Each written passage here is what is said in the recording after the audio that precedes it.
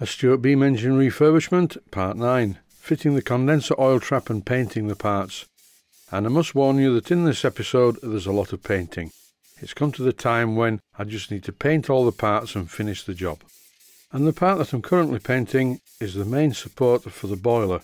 I used the grey etch primer first, gave it a light rub down, and now I'm using red oxide primer.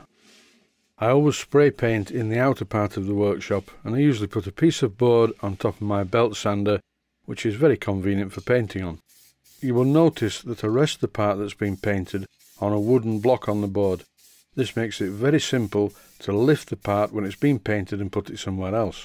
And while the primer coat is drying on the boiler base, it's time to figure out where the condenser is going to go on the main base plate.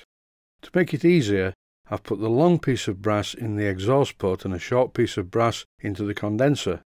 And by looking down on the condenser from above, I can easily see when the condenser is in the right position. This is a transfer punch set that I bought a while back and it's very cheap and cheerful but it does the job.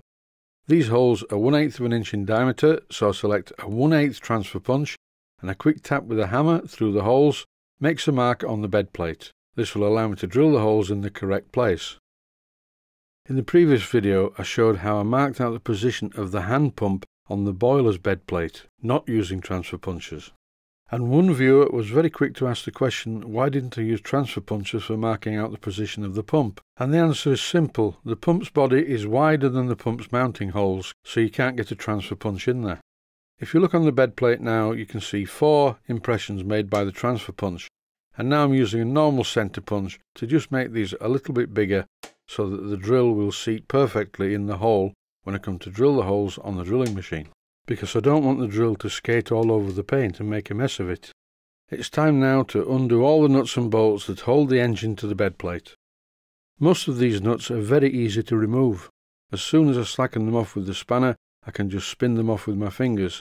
But some of them are not quite so easy, the bolts were spinning round. So what I had to do was hold the engine over the edge of the bench, use a screwdriver from underneath to hold the bolt, and then once again I could spin them off with my finger, as you see here. Now that the engine's not attached to the bed plate, I can carefully remove it and put it on the back of the bench, being very careful to support the flywheel at all times. In this clip, I'm lifting off the top metal part from the main wooden mounting base.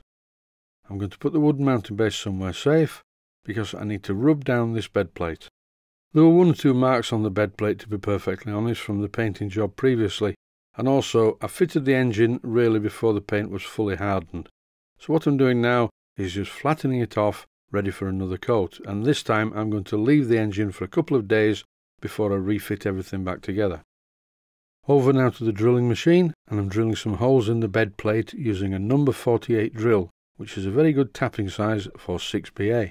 When I showed this operation with the boiler's bed plate, I drilled the holes, threaded them, and then countersunk the underneath, but this time I'm countersinking the underneath before threading them. But really it makes very little difference because the countersink is a bit blunt, and it raised the burr in the bottom of each hole, which had to be drilled out before I could thread the hole. And in this clip I'm doing just that, using a 6BA tap to thread the four holes in the bed plate. All I need now are some 6BA countersunk bolts, and here they are. When I did this job on the boiler's bed plate to support the pump, I used some Loctite 603 to make these bolts captive so they wouldn't come out of the holes easily.